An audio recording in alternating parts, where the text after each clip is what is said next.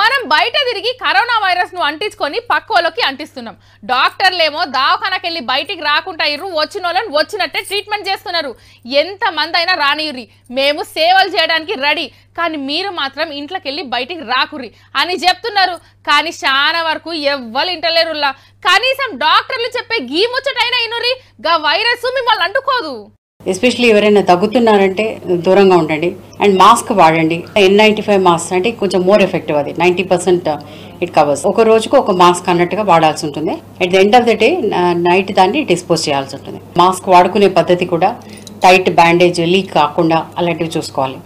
ఈ టేబుల్ మీద దగ్గారు అనుకోండి ఈ తుంపర్లు ఈ పడితే టేబుల్ మీద అదే టేబుల్ మీద నేను చేతులు పెట్టాను అనుకోండి నా చేతికి ఆ వైరస్ అంటుకొని ఉంటుంది. కళ్ళు రుద్దుకుంటే.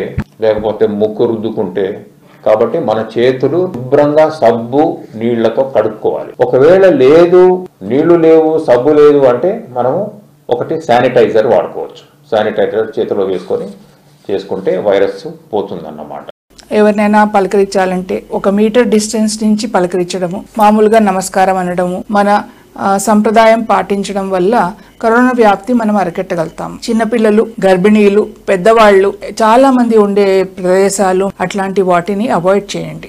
మంచి పౌష్టికాహారము ఈ ఎండాకాలం వచ్చేసింది చాలా నీళ్ళు తాగడము two litres at least minimum తాగితే హైడ్రేషన్ వల్ల వైరల్ ఇన్ఫెక్షన్స్ చాలా వరకు మనం అరికట్టగలుగుతాము. ఎవరైనా తుమ్మినప్పుడు కానీ దగ్గినప్పుడు కానీ చేతులు అనేది మనం ఇలా అడ్డం పెట్టుకుంటూ ఉంటారు. అలా కాకుండా ఇక్కడ ఇలా అడ్డబెట్టుకోవడం కానీ తర్వాత డోర్స్ ఓపెన్ చేసేటప్పుడు డైరెక్ట్గా ఇలా అరచేతితోటి అటువంటి కాకుండా ఇలా పుష్ చేసినట్టు చేయడం కానీ లిఫ్ట్లు అటువంటివి ఉన్నప్పుడు డైరెక్ట్గా ఫింగర్ తోటి ఇలా ప్రెస్ చేయకుండా ఈ ఏరియాలో ప్రెస్ చేయడం కానీ అలా చేయడం వల్ల ఏమవుతుంటుందంటే కాంటాక్ట్ అనేది బాగా తగ్గుతూ ఉంటుంది. ఈ టూ టు ఫోర్ వీక్స్ వరకు సోషల్ డిస్టెన్సింగ్ అందరూ పాటించాలి. సో ఈ పబ్లిక్ గ్యాదరింగ్స్ అందరూ అవాయిడ్ చేయాలి అండి. సో అవసరం లేకుండా ఇంటి బయటకి వెళ్ళొద్దు.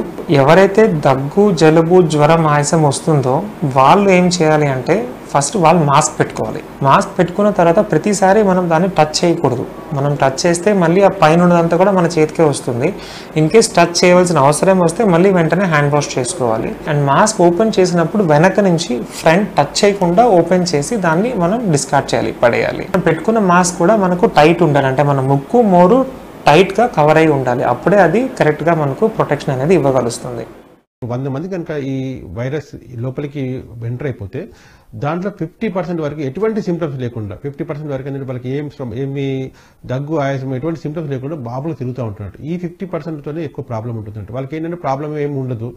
వాళ్ళు సింపుల్గా ఏంటంటే వాళ్ళ ప్రాబ్లం లోపల అయిపోయిన చిన్న సింపుల్ దగ్గు లేకపోయినా ఏంటంటే వాళ్ళు వైరస్ స్ప్రెడ్ చేసే ఛాన్స్ ఉంటుంది కాబట్టి వాళ్ళపై అందరికి స్ప్రెడ్ చేసే ఛాన్స్ ఉంటుంది అంటే వాళ్ళు యంగ్ వాళ్ళు ఎక్కువ మూవ్ అవుతూ ఉంటారు. వాళ్ళకి ఏం ప్రాబ్లం లేదు కాబట్టి ఎక్కువ మూవ్ అవుతూ ఉంటారు. వాళ్ళు స్ప్రెడ్ చేయడం వల్ల ఏంటంటే ఓల్డ్ ఏజ్ వాళ్ళు కానీ డయాబెటీస్ కానీ హైపర్ టెన్షన్ కానీ కిడ్నీ పేషెంట్ వరకు వాళ్ళకి వచ్చే ఛాన్స్ ఉంటుంది.